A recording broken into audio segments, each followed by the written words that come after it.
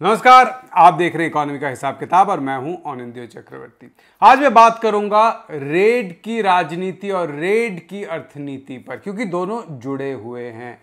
दोस्तों, जब भी किसी मीडिया ऑर्गेनाइजेशन पर रेड होता है, चाहे वो दैनिक भास्कर जड़ा जैसा बड़ा एक अखबार का ग्रुप हो, या छोटे किसी वेबसाइट पर हो, या छोटे चैनल पर हो, सिर्फ़ उस चैनल या अखबार पर इसका असर नहीं पड़ता है। बाकी सारे जितने भी मीडिया हाउस है, जितने भी बड़े बड़े कंपनियाँ हैं जो अखबार चलाते न्यूज़ चैनल चलाते सब पर इसका असर होता है। और ये असर क्यों होता है? ये असर इसलिए होता है क्योंकि हर एक हमारे देश में जो अखबार है या न्यूज़ चैनल है, वो सिर्फ़ मीडिया बिज़नेस नहीं करते, वो बड़ा कारोबार करते। हैं और इनमें से बहुत हैं जिन्हों, जो कंस्ट्रक्शन में काम है, उनका कोई बिज़नेस है, कोई एंटरटेनमेंट का बड़ा बिज़नेस खोल रखा है किसी ने किसी ने कहीं पे एक्सपोर्ट का बिज़नेस खोल रखा है, कोई पावर सेक्टर में है और साथ में वो न्यूज़ सेक्टर में भी है। ऐसे न्यूज़ कंपनियाँ भी हैं जिन्होंने बहुत सारी कंपनियों में शेयर में पैसे डाले हुए हैं, जिसको प्राइवेट इक्विटी डील कहते हैं।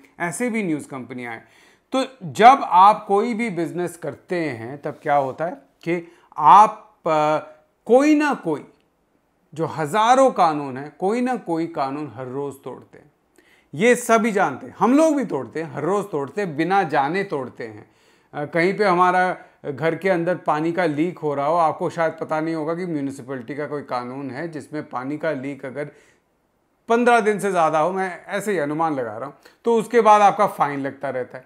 आप के घर में अगर गार्डन है तो वहाँ पे कहीं पे पानी थोड़ा सा जमा हो गया, आप दो दिन के लिए शहर से बाहर चले गए और वहाँ पे डेंगू के मच्छर के जो अंडे हैं, वो निकल आए तो भी आपने कानून तोड़ा है। तो हर वक्त आप कोई ना कोई कानून तोड़ते रहते हैं, आपको पता भी नहीं। ज़्यादातर केस में ये कानून में आपको कोई फ़र्क नहीं पड़ता। कोई पुलिस वाला या कोई अधिकारी आकर आपको नहीं कहता है, आपने कानून तोड़ा है, अब आप इस पर जुर्माना भरिए या आप जेल जाइए, है ना?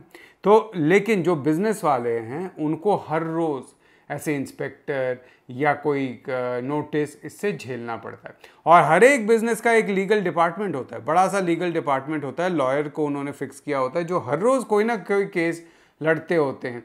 कभी ना कभी कोई लिस्टिंग केस का आ जाता है, वो लड़ते रहते हैं। तो ऐसे जो बिज़नेस हैं, इस पर अगर आप कहीं ना कोई कानून निकाल कर इनको बोले कि आपने ये कानून तोड़ा है और इसके लिए आप पर रेड किया जाएगा। तो तुरंत जितने भी बाकी बिज़नेस हैं, बड़े कारोबारी हैं, जो बिज़नेस न्यूज़पेपर वगैरह चला रहे हैं, उन पर क्या असर होता है? वो सोचते हैं कि भैया न्यूज़ में कुछ गलत मत छापो। कुछ भी चीज़ सरकार के खिलाफ मत छापो, क्योंकि सरकार के खिलाफ छापोगे या दिखाओगे तो क्या होगा? आप पर रेड हो सकता है, आप पर कोई मुकदमा दर्ज हो सकता है, और फिर आप लगे रहो कोर्ट के चक्करे काटते रहो लॉयर के फ़ीस भरते रहो, और जुर्माना देते रहो। इसलिए जब भी कोई रेड होता है, आज की डेट पे, जहाँ पे बिज़नेस कारोबार और न्यूज़ बिल्कुल एक साथ जुड़ गए हैं, आज की डेट पर रेड एक पे होता है तो पूरे जितना भी मीडिया है, उस पर उसका असर पड़ता है। इसीलिए इसको मैं रेड की अर्थनीति कह रहा हूँ। ये रेड की अर्थनीति है। इसी से हमारा मीडिया चलता है, क्योंकि मीडिया भी एक बिज़नेस है। जैसे अगर मैं ये वीडियो बना रहा हूँ, मैं फ्री में तो नहीं बना रहा हूँ ना। फ्री में दस बना दूँगा, लेकिन ग्यारहवीं पे बोलूँगा, यार, मुझे कोई नौकरी करनी है, मुझे पैसे चाहिए। तो कुछ ना कुछ पैसे तो देने पड़ेंगे। कोई भी जो जर्नलिस्ट है, उसको तो अपना घर चलाना पड़ेगा। जो जर्नलिस्ट को एम्प्लॉय करते हैं, उनको भी पैसे देने पड़ेंगे। तो कारोबार चलाना ज़रूरी है, और जब भी आप कारोबार चलाओगे, कुछ ना कुछ आपके खिलाफ निकाला जा सकता है। एक और चीज़, बहुत अहम बात है कि 2005 चार पाँच के बाद जो हमारे देश में लगभग तीन साल तक बहुत बड़ी स्टॉक मार्केट बूम आई थी। सेंसेक्स पाँच हज़ार छः हज़ार के लेवल से सीधा इक्कीस हज़ार के लेवल पर चला गया था सिर्फ़ दो साल के अंदर। और ये जो एक स्टॉक मार्केट बूम आया था, ये ग्लोबल फैक्टर से आया था, पूरी दुनिया में, अंतर्राष्ट्रीय कारणों से आया था।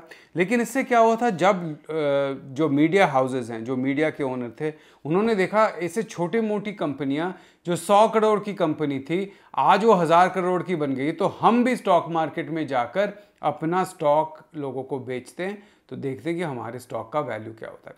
और जब ये स्टॉक का वैल्यू बढ़ा तो क्या हुआ स्टॉक के वैल्यू के साथ साथ उन्होंने साथ में पैसे भी अपने जो शेयर हैं, कुछ कारोबारियों को बेचे, कुछ इन्वेस्टर को बेचे। जब भी और या आपने फॉरेन इन्वेस्टर को बेचा, बाहर से पैसे आया आपका, कोई इन्वेस्टमेंट आया, और ये जब भी होता है, जब भी फॉरेन इन्वेस्टमेंट होता है तो बहुत सारे कानूनों में एक असमंजस है हमारे देश में।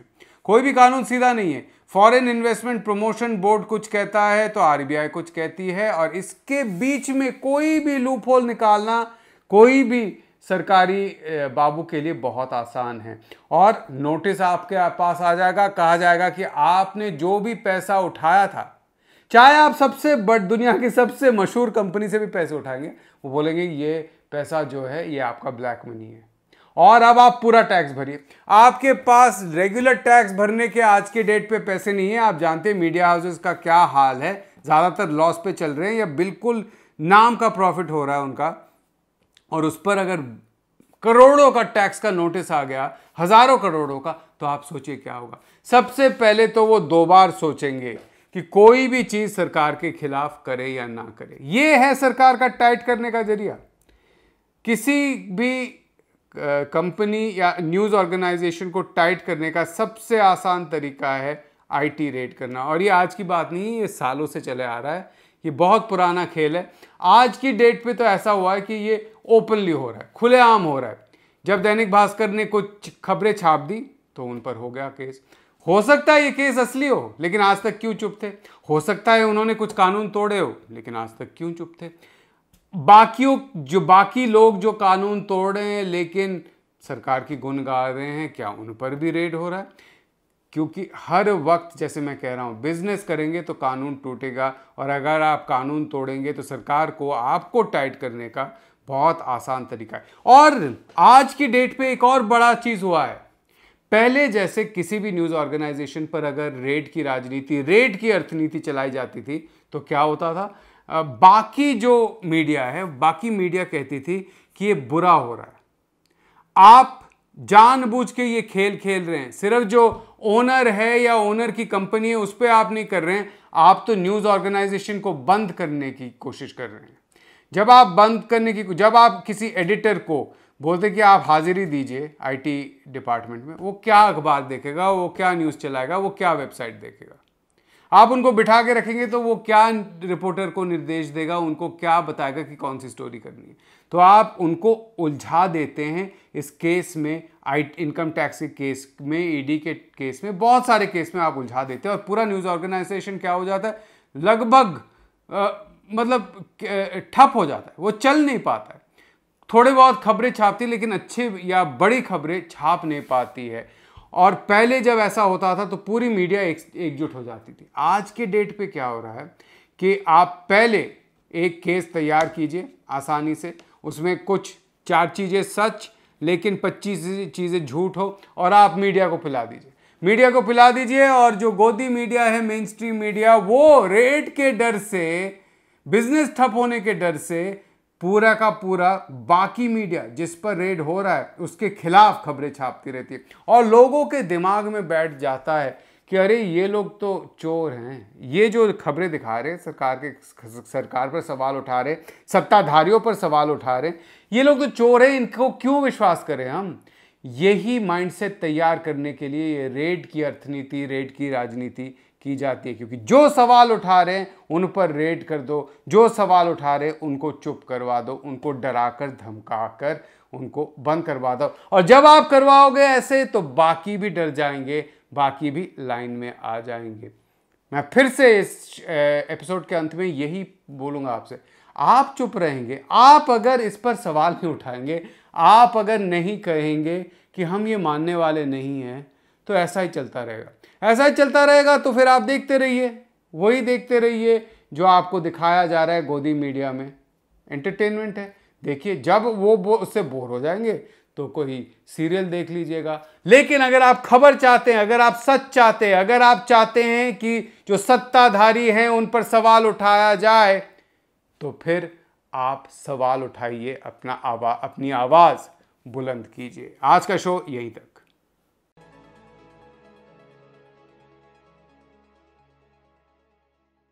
you